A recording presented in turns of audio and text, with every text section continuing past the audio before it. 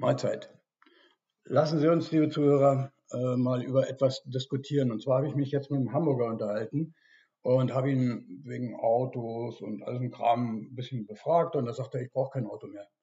Und er hat mir das dann erzählt, ich habe dann kurz nachgeguckt, Carsharing in Hamburg für 9 Cent pro Minute.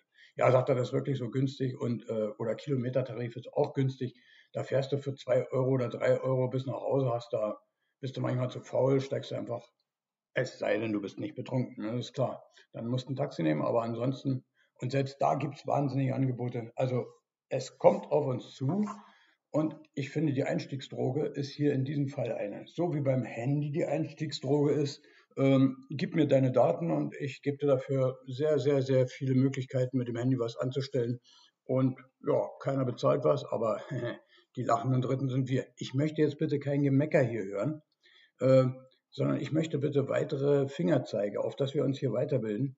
Fingerzeige, wo wird es uns noch leichter gemacht? Also Carsharing, das hätten wir. Kein Auto mehr besitzen, alles klar, alles günstig. Äh, die Idee ist nicht doof, aber wie gesagt, ich finde, das ist eine Einstiegsdroge. Handy, das gleiche. Was gibt's noch? Wo macht man es uns noch leichter? Waschsalon ist klar, es gibt schon seit hunderten Jahren, mal übertrieben. Äh, und, und, und, und, und. Also solche Dinge. Äh, bitte lassen Sie uns hier Ideen sammeln auf das wir hier weiterkommen.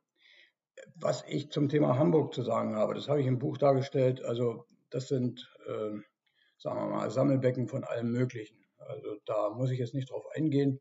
Es geht auch nicht um Hamburg oder Großstädte alleine, sondern es geht darum, wo macht man es uns leicht.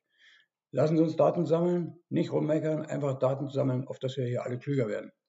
Es schadet nicht. Und ich glaube, damit haben wir wirklich noch keinem auf die Füße getreten. Also keine äh, Meckereien wegen dieser Blume hier. Ne? Ist klar? Okay, na denn. Alle guten Wünsche und einen schönen Sonntag und was man alles so wünscht an so einem Tag, dritten Advent, den wünsche ich auch einen schönen und und und und. Also, bis dann. Tschüss, tschüss.